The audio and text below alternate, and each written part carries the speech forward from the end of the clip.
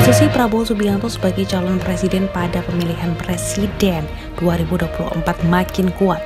Ini karena dukungan kelompok sukarelawan Gibran Raka Buming Raka.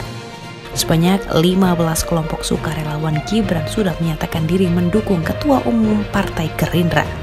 Menteri Pertahanan itu menjelaskan dirinya dan kelompok sukarelawan Gibran Raka Buming Raka mempunyai tujuan yang sama untuk meneruskan program Presiden Joko Widodo.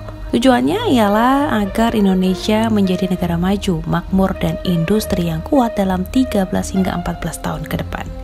Prabowo mengaku akan mengundang kelompok sukarelawan Gibran ke rumahnya di Hambalang, Bogor, Jawa Barat. Prabowo mengaku memang sengaja menemui Gibran saat dirinya berkunjung ke Solo. Sebab Gibran Raka Buming Raka adalah wali kota Solo. Prabowo mengaku selama ini memang sering bertemu dengan Gibran.